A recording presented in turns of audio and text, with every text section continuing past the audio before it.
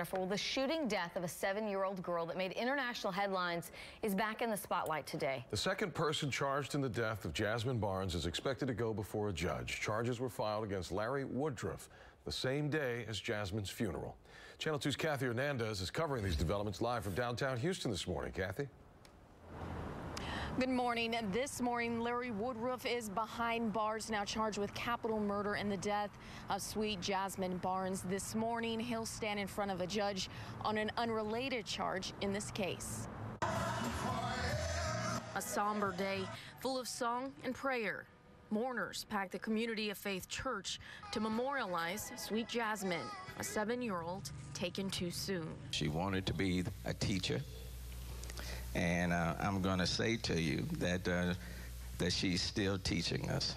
At the same time, the Harris County Sheriff's Office announced new charges in a murder case. 24-year-old Larry Woodruff, the alleged shooter, now charged with capital murder. He joins 20-year-old Eric Black, the alleged getaway driver. Woodruff has a long criminal history. Most recently, in 2017, he was convicted of assaulting a family member and sentenced to two years in prison. Less than a year later, he was out on parole and charged with being a felon in possession of a gun. Court records show Woodruff pleaded guilty to a lesser charge and sentenced to nine months in jail.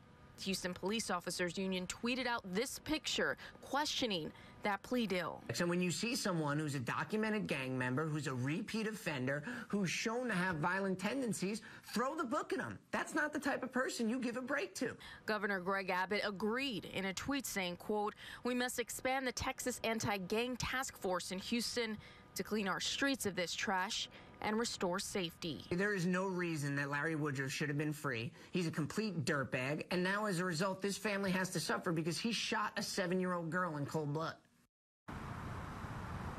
Again, Woodruff will be in court today on an unrelated drug charge. He'll be back in court tomorrow to face that capital murder charge. Reporting live in downtown Houston, Kathy Hernandez, KPRC, Channel 2 News.